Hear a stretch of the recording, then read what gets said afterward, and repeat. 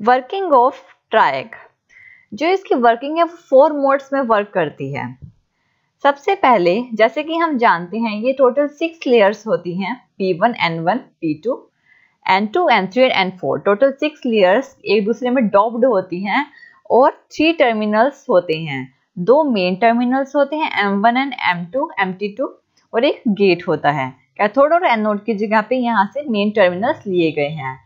ये जब ये फ़र्स्ट मोड क्या होता है जब इसका वर्क करवाते हैं जब मेन टर्मिनल टू और गेट को पॉजिटिव पोलैरिटी प्रोवाइड करें लेकिन मेन टर्मिनल वन को नेगेटिव पोलैरिटी प्रोवाइड करें यानी एम टी टू और गेट को हमने पॉजिटिव प्रोवाइड किया है एम टी वन को नेगेटिव बैटरी से कनेक्ट किया है।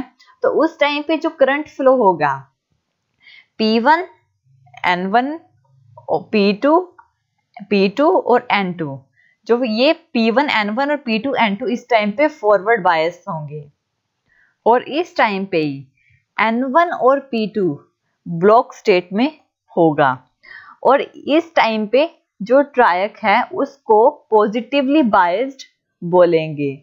इसमें क्या होता है? गेट पॉजिटिव होता है। With respect to M T one forward bias junction होता है जो हमारा P2 N2 का होता है और P1 N1 का होता है। और इसका जो ब्रेकडाउन होता है, वो नॉर्मल एस की तरह ही होता है। नेक्स्ट मोड है, हमारा एम जब हमारा मेन टर्मिनल टू और मेन टर्मिनल वन को हम पॉजिटिव बैटरी से पॉजिटिव सप्लाई प्रोवाइड करें और गेट को नेगेटिव सप्लाई प्रोवाइड करें। इस कंडीशन में वर्क वो फ़र्स्ट वाले मोड की तरह ही करेगा, लेकिन क्या होगा? कि इस टाइम पे जो हमारी कंडक्शन होगी वो P1 और N1 और P2 और N3 के बीच में होगी। पहले क्या हो रहा था? P2 और N2 के बीच में हो रही थी, अब P2 और N3 के बीच में कंडक्शन होगी और P1 N1 फॉरवर्ड बायस रहेगा और P2 और N3 फॉरवर्ड बायस रहेगा। इस तरह से ये कंडक्ट करता है। इसका थर्ड मोड जिसमें MT2 और गेट, यानी मेन टर्मिनल टू को और गेट को नेगेटिव नेगेटिव सप्लाई प्रोवाइड की जाती है, लेकिन एम टी वन को पॉजिटिव सप्लाई प्रोवाइड की जाती है। इस टाइम पे हमारा जो फ्लो है, वो रिवर्स हो जाएगा। P2 N1 कंडक्ट करेंगे और P1 और N4 कंडक्ट करेंगे।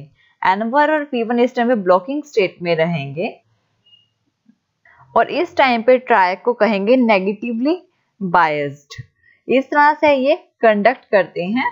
इसका फोर्थ मोड लास्ट मोड जिसमें कि main terminal first and second negative polarity provide की गई है और गेट को पॉजिटिव पोलैरिटी प्रोवाइड की गई है। इसकी वर्किंग थर्ड मोड की तरह ही वर्क करेगी। लेकिन क्या होगा? इस टाइम पे कंडक्शन N2 और P2 में होगी। और N1 और P1 में होगी। इस तरह से ये दोनों डायरेक्शन बाई डायरेक्शनल में वर्क करते हैं। और ये है हमारे ट्राइक की वर्किंग